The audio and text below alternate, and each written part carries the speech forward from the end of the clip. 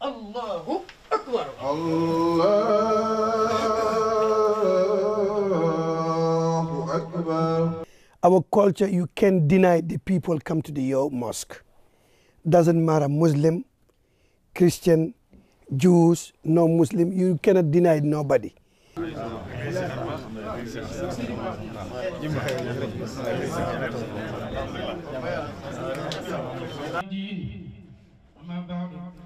الدين أما بعد يا أيها الناس اتقوا الله تعالى حق تقواه Sometime one week you're gonna you're gonna get 40 or 60.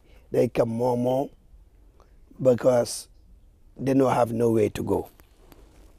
If they come to the stay the mosque, we do what we can to feed them, to help them.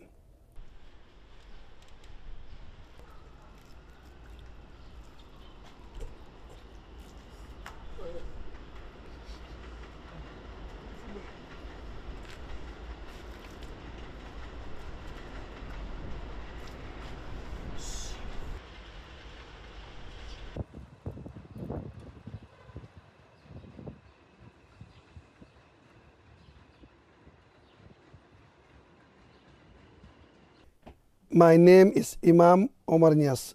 I am faith-based leader in a community, Bronx, Jamiat Ansaru-Deen Mosque.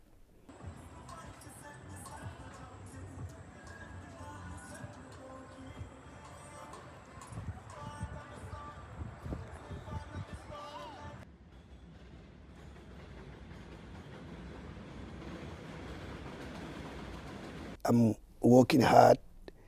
I'm half a little bodega to open some bodega to survive myself and my children and my wife. Them.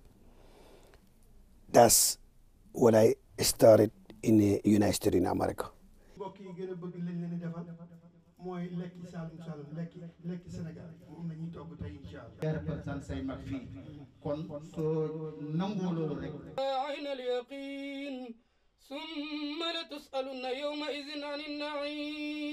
Now I'm here to see like first time I'm juggling, I'm trying to best.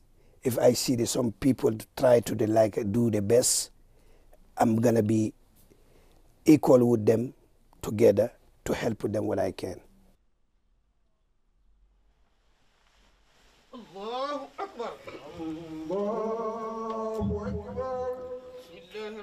The new one, they know working, they don't have nothing yet they stay in a mosque. I love to see them. I love to see what they're doing because they, some of them, they open the business now. Some of them, they get their working authorization. They work in some of them restaurant, some of them in a car wash.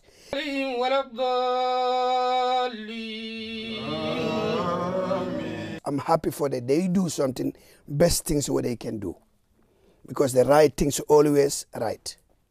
Allahu Akbar. Allahu Akbar.